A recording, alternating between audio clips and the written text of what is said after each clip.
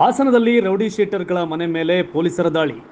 ನಗರದ ಪೆನ್ಷನ್ ಮೊಹಲ್ಲಾ ಠಾಣೆ ವ್ಯಾಪ್ತಿಯಲ್ಲಿ ಪಿಎಸ್ಐ ಮಧು ಅವರು ರೌಡಿ ಶೀಟರ್ ಅಕ್ರಮ ಚಟುವಟಿಕೆಗಳಲ್ಲಿ ಸಕ್ರಿಯವಾಗಿರುವ ಮನೆಗಳ ಮೇಲೆ ದಿಢೀರ್ ದಾಳಿ ನಡೆಸಿ, ಪರಿಶೀಲನೆ ನಡೆಸಿ ಕೆಲವರನ್ನ ವಶಕ್ಕೆ ಪಡೆದುಕೊಂಡಿದ್ದಾರೆ.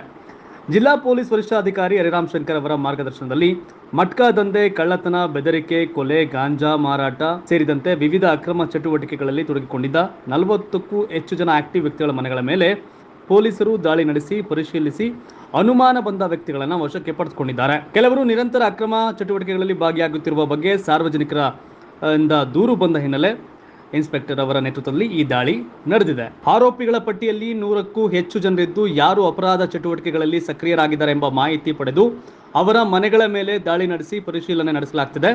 ಪೆನ್ಷನ್ ಮೊಹಲಾ ಶ್ರೀನಗರ, ಅಮೀರ್ ಮೊಹಲಾ ತಣ್ಣೀರುಹಳ್ಳ, ವಲ್ಲಭಾಯ್ ರಸ್ತೆ ಸೇರಿದಂತೆ ವಿವಿಧ ಭಾಗಗಳಲ್ಲಿ ಎರಡು ದಿನಗಳಿಂದ ಕಾರ್ಯಾಚರಣೆ ನಡೆಸುತ್ತಿರುವ ಪೊಲೀಸರು ಅಪರಾಧ ಚಟುವಟಿಕೆಯಲ್ಲಿ ಭಾಗಿಯಾದವರಿಗೆ ಚುರುಕನ್ನ ಮುಟ್ಟಿಸಿದ್ದಾರೆ ನಾಗರಾಜ್ ಕರ್ನಾಟಕ ಟಿವಿ ಹಾಸನ.